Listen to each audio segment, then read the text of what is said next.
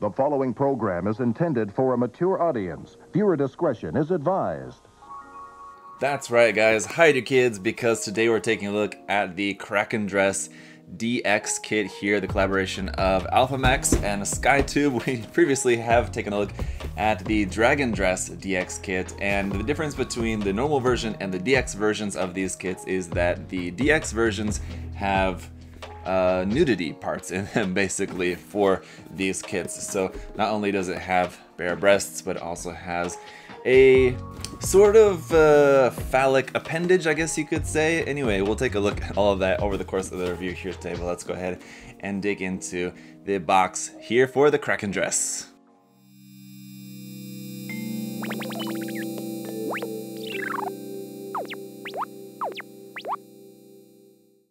So on the front of the box here, you got some very cool artwork of it. This one has kind of like a squid octopus kind of theme here with the tentacles, and then it has this part on the back of the head which like folds up over the top of the head as well too, which kind of looks more like a squid than an octopus to me. So that's why I'm kind of not sure exactly which one they're going for, but anyway, you can see this one. The design of this character is from Masaki Apsy, who you guys would be pretty familiar with. He does work for Kotobukiya as well too.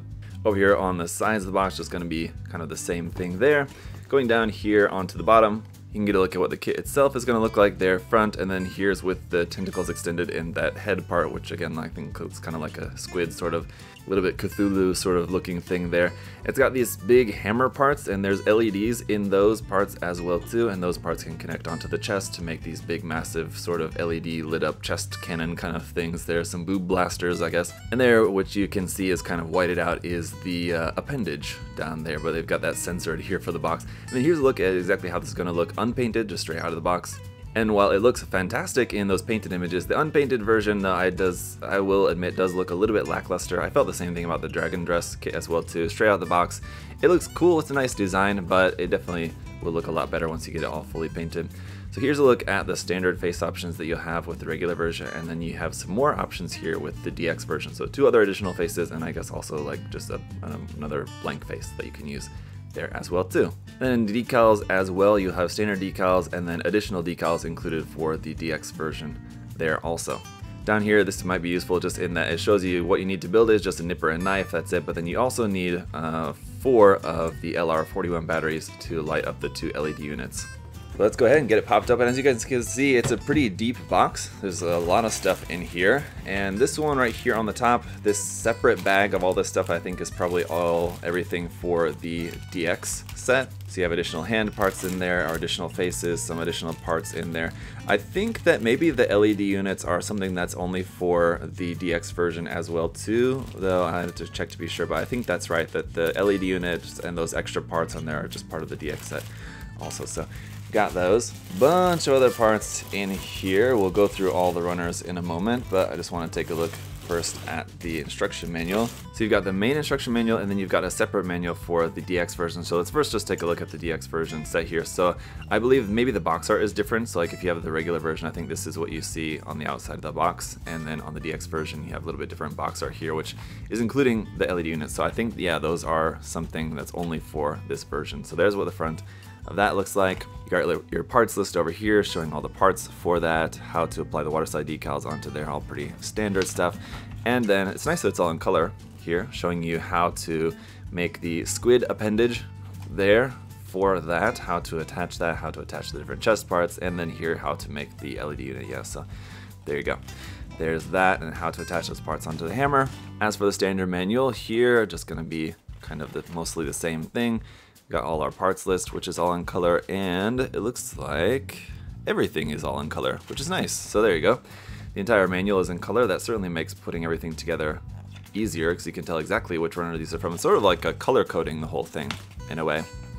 So aside from the runners labeled A, B, C, D, whatever, you can also can just kind of tell which parts you need just based on the color you see here in the manual. That's convenient. So once we get uh, closer to the end here, it'll be a little bit about just like transforming it to the sort of full squid form there. We got a base included for that as well too. And then we've got the color guide here at the back. So that's all in Japanese. There are the colors and then a nice photo reference for you.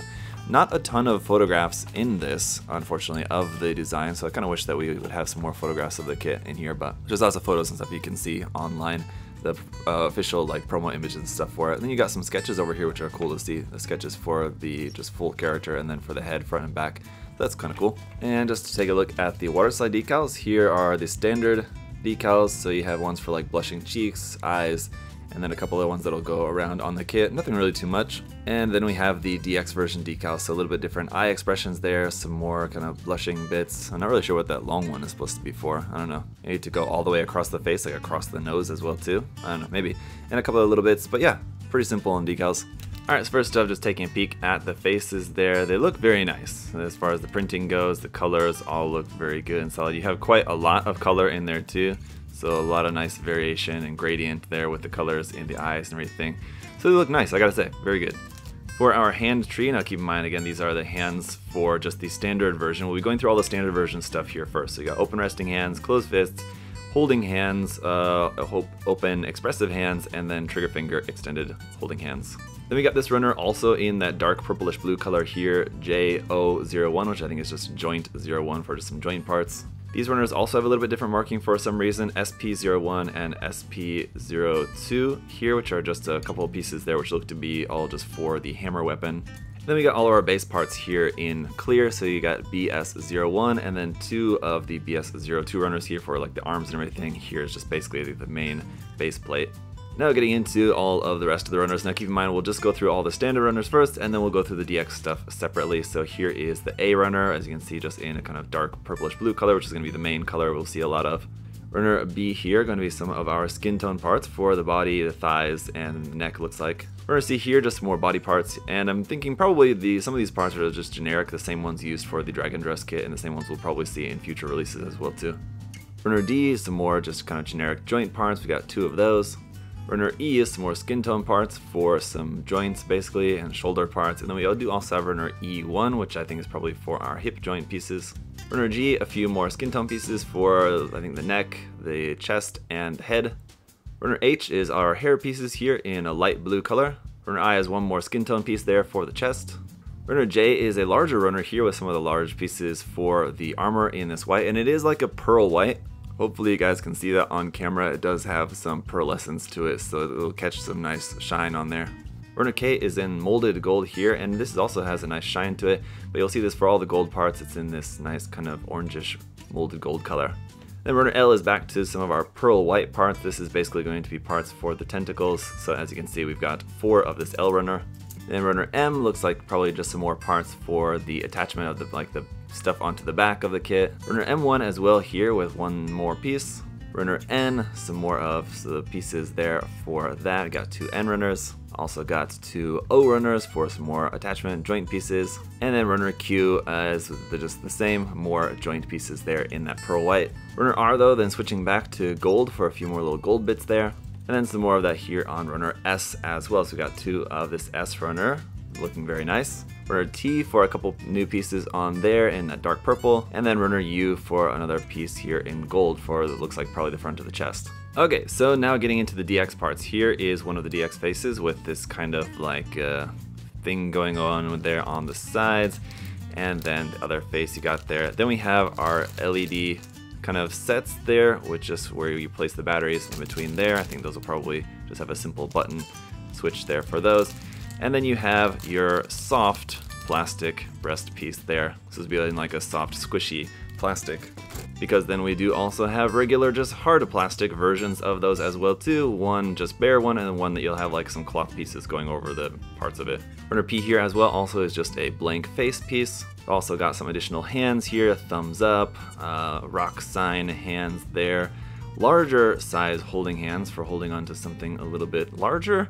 Peace sign hands then we got this other piece here, which is going to be your attachment piece for uh, these parts right here, which will attach around the waist. Uh -huh.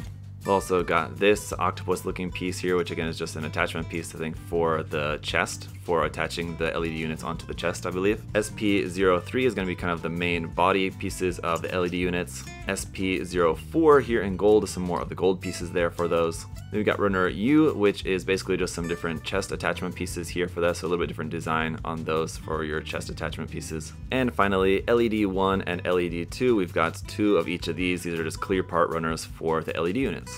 But there you go, guys. Anyway, that is everything. There's lots of stuff here to build. Let me just go ahead and get everything all put together. And I'll just say on a side note, my box kind of stinks. Not like, don't get anything, don't get any ideas. It just smells like that really strong, like cardboard smell. You guys know, like cardboard has a kind of stink to it. Yeah, it just kind of smells like that. Weird. But anyway, let me go ahead and get it all put together, and then we'll see how she looks. Alright guys, and here she is all built up. So for the first part of the review, I'll just focus on just the main kits, not the DX parts, and then we'll look at the DX parts and everything uh, towards the end later so that you guys can get a sense. If you're wanting to get this kit, just the regular version, you can see what this is going to be like just with all those parts and stuff first. But I gotta say guys, I'm really happy with how this is looking. I really like the armor design on her, uh, and just overall, I wasn't sure how much I was really gonna care that much for like the backpack parts and all the other stuff on there. If I had to choose a least favorite part about the kit, I guess it would be all the backpack equipment, but we'll see that more in use in a little bit. But even that, I think does look better now that I've actually built it, now that I'm actually seeing it in person, built and on the kit, and have it in hand. It looks really nice. It's a very cool looking kit. Definitely will benefit from some painting, at least doing some panel lining and things like that on it. But even just straight out of the box, it's looking quite good. So let's go ahead and check it out in more detail here. As for the basic accessories, aside from the different hands and different face options that we have, you have the option to make just the standard feet, different from the high-heeled shoes that you have on there, so if you prefer that. And for just making the unarmored version of this in general, you would just basically swap out the feet, you take off these extra pieces of armor here on the knees, and then just take off the pieces of armor on the arms, and I'll show you guys that, how that looks later on in the review. Also, you've got sort of like unarmored, or I guess alternate versions of parts here for the hair on the side of the head as well too. So instead of those gold parts, you have these bits of hair. And I'll show you that later as well, and they're easy enough to change out, but those gold parts do look really cool off the head there. Also among the leftover parts not used for this kit necessarily, you have parts to make this alternate chest piece, which is from the Dragon Dress kit, so if you preferred that or you wanted to use this or just have it as an option piece, you've got that in there as well. And the main weapon, of course, is just going to be this hammer accessory here, which is pretty simple. For the spike bits at the end, you have the option to have those in gold if you prefer, so you have all those parts in either white or gold. In the manual and everything, it's they're basically shown to always be white, so I just kept mine in white. But yeah, without any panel lining, because there's a lot of nice detail on here. Hopefully you guys can see some of that. But yeah, without panel lining this in at least, or like painting that in with some thin down like red paint or something, I think could be very cool. Uh, it's gonna look pretty plain, as it just looking very just this milky kind of slightly translucent, pearlescent kind of white color. So on its own, it does kind of leave a little bit to be desired. And of course we have the base, which is really quite nice, simple but strong. It's better than the Attack Girls base, I will say, which are known to be very flimsy. This one I can feel it's not going to break and I can move it easily, but it stays tight. And just for an example here, you can see like that. I've got the get all the way out there like that and it's staying firm. So really nice base for this. I won't get too much into the articulation of the actual main body because if you've built any other Mecha Musume kits like this, the ones from Kotobukiya or the Attack Girls ones, all their articulation is basically exactly the same. The bodies are almost identical. Uh, but the articulation of this stuff here on the back works pretty nicely. This part here for the head is on this arm which will extend out and you bring that down and sort of just cover the face basically. I guess I kind of forgot about these as weapons but you can also remove these parts here from the side of the head and these can just be handheld swords on their own. So you can just remove those parts off and you got two swords that you can use as well. And then at the back for like the tentacle bits, you have these like little pieces here which will lock them together. So for keeping these just stored on the back, that's really convenient. But then when you want to use them, you just take these off and I think you just need to just kind of set them to the side basically. And those are freed up to move on their own. Now Each of the four parts are connected via a ball joint here and there's a bunch of articulation points among these so you can just fold out the kind of tentacles, I guess, as they were, to be like that at their full length. So you have articulation points kind of all along here, and you can rotate those as well too. So as we're taking a look at a few just sample poses here using just the main kit, again, just focusing on the main kit, I gotta say, I really like this kit quite a bit more than I liked the dragon dress, to be honest. I really liked the design of the dragon dress. It was cool, but then actually having the kit in hand, there was some very flimsy parts, and it just kind of was a little bit kind of a pain to work with. This one, I'm not having that experience at all. This one's not giving me any trouble trouble, which is fantastic. I really like the design, and especially I'm really liking uh, just like the character design as well too. It's really nice. The more I'm looking at the face, I think that one of the reasons might be because the face sort of looks very similar to the face animation style of Genshin Impact, which, as you, some of you guys may know, is a game that I'm playing quite a bit these days and I really like. It's basically the only game that I play these days. But anyway, the character looks like something out of Genshin Impact, which I guess maybe is one reason why she's certainly appealing to me what do you guys think about that? Do you agree or is that just me? But so take a look at these and then let's move on to taking a look at the DX parts. For the LED units, I've gone ahead and picked up some batteries for this. So you just press the switch, to turn that on, Then you put this back into here. So it's not that easy to turn those on, unfortunately, because you kind of have to take this apart. But then once that is apart, then you just slot this into here. And that's lit up pretty well, but honestly, those LEDs are not that bright, not very strong. It's lit up though, and then you can slide this open like that to expose some more of that light. Now, of course, if you're in not quite as bright lighting conditions, it's going to appear more visible compared to obviously this one here, which is not lit up. So, I mean, you can definitely see the difference, lit up or not, but I mean, it's not a super bright thing.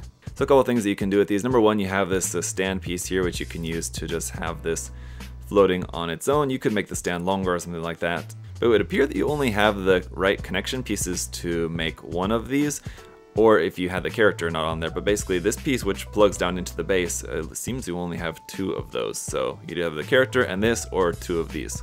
Otherwise, you attach this gold piece back onto the back here, and then also, I mean, just for example, obviously these parts here open up, aside from just the whole thing it's kind of sliding to open up like that, just as far as the articulation of these goes.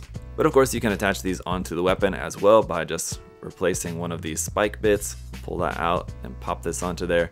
Then you've got your hammer, and obviously you could put one on both sides. We'll take a look at that here in a little bit, but you can do that. Or you can attach them onto this uh, octopus chest piece here. I need to remove that gold part again. It just plugs directly onto here. But there you go. So it'll be like that once we have both of these lit up and plugged onto there. You can have your big giant uh, LED unit blasting cannon boobs, basically. So we'll see that in just a second. One more thing that you can do with these as well is use this attachment piece here which plugs into there and then you can use this to replace the hand so you, you can give her these giant LED unit uh, weapons as her hands instead of like a, just actually holding them in the hand or anything like that or just like a free floating piece. So in place of the hand you just plug that right into the wrist. Here's the attachment piece that just basically is kind of a softer plastic so you just fit this around the hip section and it's an appendage with a mouth. Really reminds me of Shin Megami Tensei. If you guys ever played that game, it really looks quite a bit like that. And then you have your two versions of the breast piece. One is in the hard plastic and one is in the softer squishy plastic. So while those LEDs do look cool and they certainly beef up the hammer weapon to look a lot more interesting than it does for just the standard version of that, which looks, I mean, just kind of a little bit underwhelming to be honest, is definitely causing some weight issues, not in the arms, the wrists where you might expect, those are actually holding up the weight of it quite fine, because it's just a very heavy weapon now that you got so much bulk added at the end of there, uh, plus the LED units and the batteries and everything in there. Uh, but where it's causing weight issues is actually in the torso, so I, I'm having to do a little bit of a balancing act. It's just barely holding on now, but I was having some trouble getting it to pose because basically it was breaking the kit in half. Uh, the top half of the torso was coming off of the bottom half. So that is one area where you might have an issue with this just because of the added weight of those. Otherwise, the LED lit weapons do really add a lot to this. But really, those are kind of the main star of the DX set for this for me. I mean, obviously, one reason to get the DX set is you want the lewd parts, and that was definitely the case with the Dragon Dress as well too. But the Dragon Dress, basically, that was kind of the main thing of the DX set was just to get the lewd parts for the kit. And you have that with this set as well too, which those are all good and well. But really, the LED units are kind of like the best part about this set. They're really the kind of thing that makes this kit go from an already really great kit and just the standard version to a really awesome kit with those LED units added just as extra weapons. So those are really kind of the a really good reason to get the DX set. Or with the Dragon Dress with the first kit that came out, the DX set, I, I mean, only really, only real purpose to get that was if you wanted the loot parts. But this one, you really get a lot more by getting the DX set aside from just only the lewd part. So definitely I would actually recommend the DX set in this case and I'm looking forward to the third kit that's coming out from them. I think it's coming out towards the end of this year um, or beginning of next year. It's still a little ways off, but that one as well looks like there's quite a bit different between just the standard version and the DX version. So I'm looking forward to checking that one out and seeing what I think about that and of course sharing that with you guys as well too later on. But for now, what do you guys think about this kit? Is this one that you were wanting to get or has this review changed your mind one way or the other? Let me know your thoughts down in the comment section below. Would you want to get the DX set or just kind of settle for just the standard version? Which I mean, either way, you're getting a great kit, so you couldn't really go wrong with either version. But let me know your thoughts down in the comment section below. Thank you guys so much for your support, and thank you USA Gundam Store, of course, for making it all possible as well too. You guys can check these kits out at USA Gundam Store. And if you're looking for more Mecha Musume kits similar to this, of course, we got Kotobukiya Girls and Attack Girls and all that other kind of good stuff that you can check out there on the website. And of course, Bandai Gunpla and all that good stuff as well too. So check out the link and the coupon code down in the video's description. Until next time, guys, I hope you're all having a great day. I'll see y'all later. Bye-bye.